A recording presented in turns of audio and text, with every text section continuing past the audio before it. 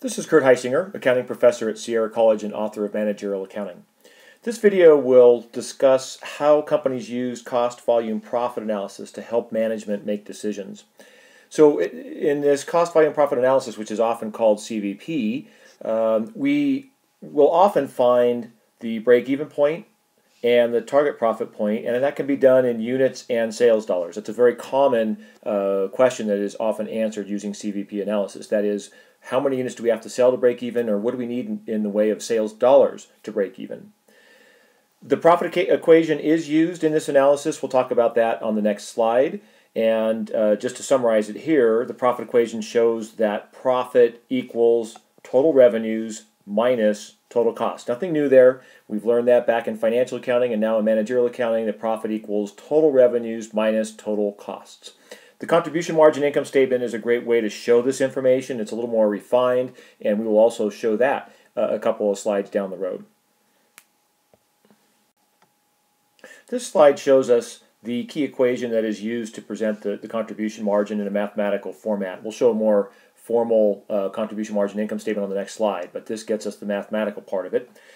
And what you see here is that profit equals total sales minus total variable costs minus total fixed costs. So again, total revenue or total sales minus all of our costs, including variable and fixed costs. So down below, this shows us exactly how to find this information, that profit equals total revenue or total sales, and we can find total sales by looking at the selling price per unit times the quantity of units that we sell uh, minus the total variable cost, and we can find that total by taking the variable cost per unit times the quantity of units sold, and then subtracting from that total fixed cost. And all of these variables are defined down below here.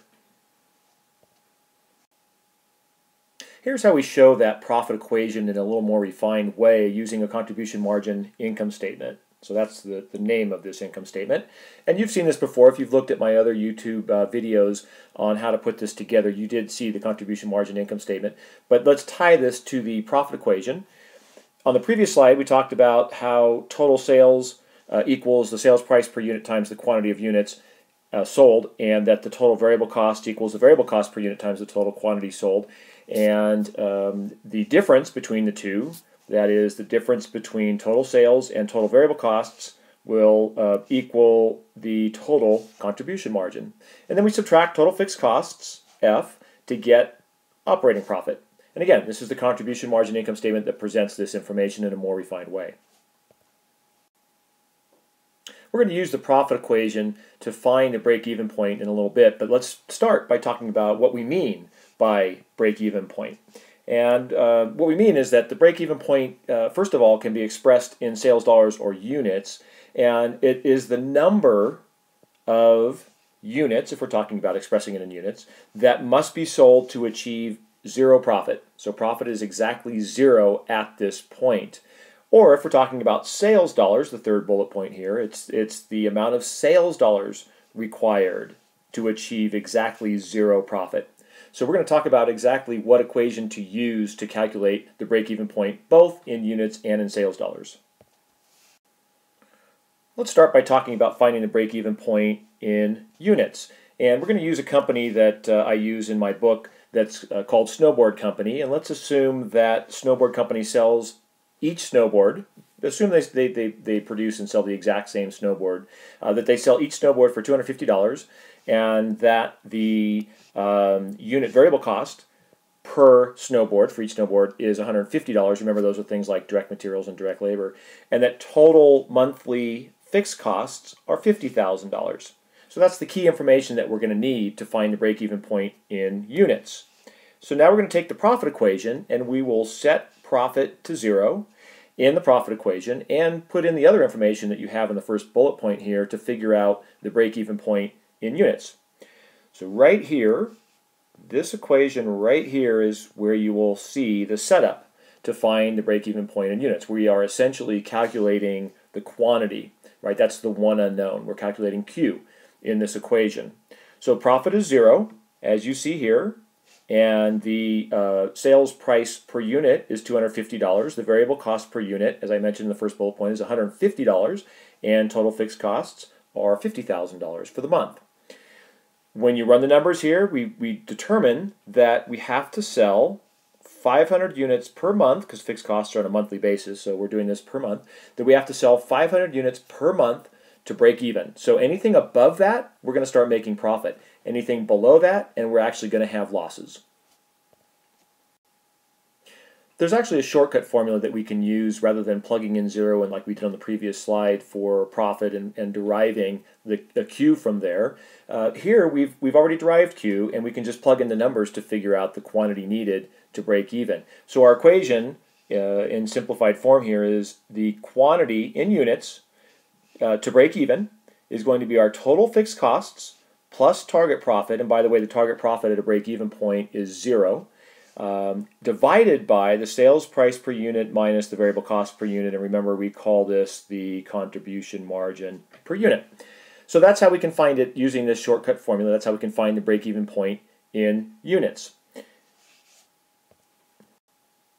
If you want to find the target profit, some target profit, whatever it might be, in units, that's what we have here in the third bullet point, then simply plug in what that target desired target profit would be up here where it's labeled target profit and run the numbers and we can figure that out. For example, if we want to find out how many units we have to sell to make, let's say, $50,000 in a month, we would plug in $50,000 here for target profit, plug in our fixed costs that we talked about in the previous slide, our sales price per unit and our variable cost per unit, and we can figure out the quantity required uh, that we would have to sell, the number of units we would have to sell to make $50,000 in profit. What if we want to find the break-even point in sales dollars rather than in units? Some companies prefer to do that. In some companies, it's not easy to measure the number of units. For example, let's say we have a restaurant and um, you know, we sell different meals uh, for different amounts, it's very difficult to come up with one unit of measure. So it might be that we want to use sales dollars in, in a variety of situations to, to calculate the break-even point. Well, if we do that, we need to, to, to clarify, first of all, or to define two very important terms. And we'll do that on the next couple of slides. The first one is the contribution margin per unit. We need to figure out what that is. And then we need to also be able to figure out the contribution margin ratio. So let's talk about that next. The contribution margin per unit is simply the sales price per unit minus the variable cost per unit. So in our snowboard company example, recall that the sales price per unit was $250 and the variable cost per unit was $150. In that example, the contribution margin per unit that we sell is $100. So what does this mean, this contribution margin per unit? Well, it's the amount that each unit that we sell contributes to covering fixed costs, and then once we've done that, it goes directly to the bottom line and contributes to profit. So if we're above that 500 unit break-even point that we calculated earlier, then every unit that we sell will contribute $100 toward the bottom line. That is, if we sell 501 units, we will have profit of $100. If we sell 502 units, we'll have profit of $200, and so on. And this is really important for management. Management would like to know uh, for each additional unit that we sell above the break-even point, how much will that contribute to profit? And the contribution margin per unit will answer that question. Next, we'll learn how to calculate the contribution margin ratio. And uh, this ratio essentially is the contribution margin as a percentage of sales. So the way to calculate it is to take the unit contribution margin, which is the sales price per unit minus the variable cost per unit, and divide that by the sales price per unit. And that gives us the contribution margin ratio.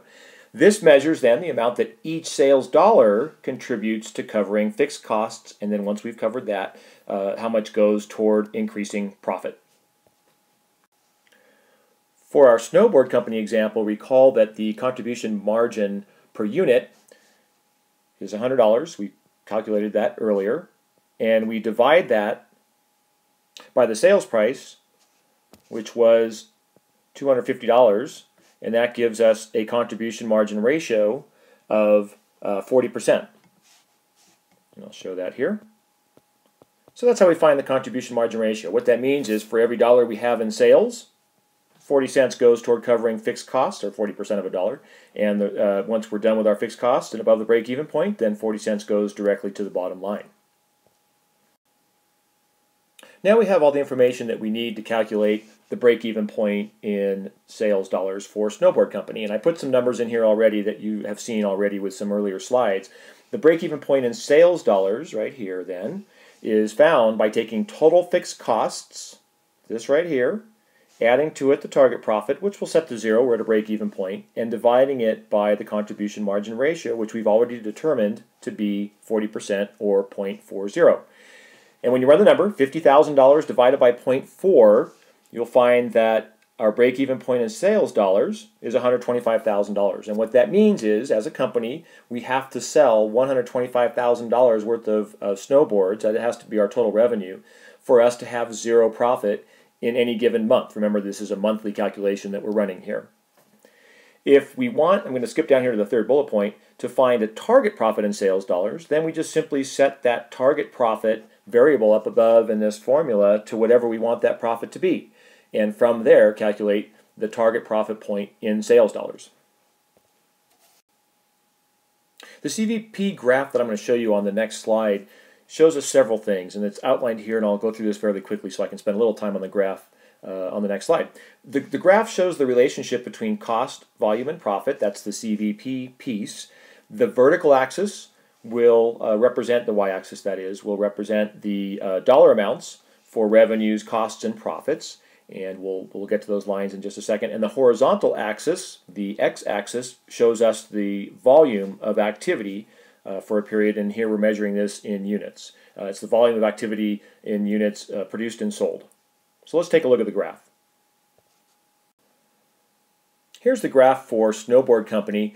And you'll see up here the, the, the, uh, what each line represents. So the, the blue line represents total revenue, the red line represents total cost, and then the green line represents the difference between the two. So here's our, our green line. This is the profit line.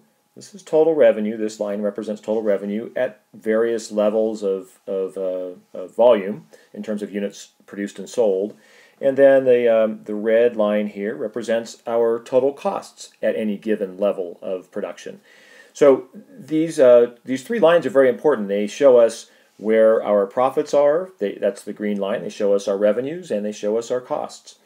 You'll see here the break-even point is, is shown. We've gone through those calculations. Remember we figured out the break-even point in units, and that's where our uh, profit is exactly zero. And you'll see that we had to sell 500 units to break even.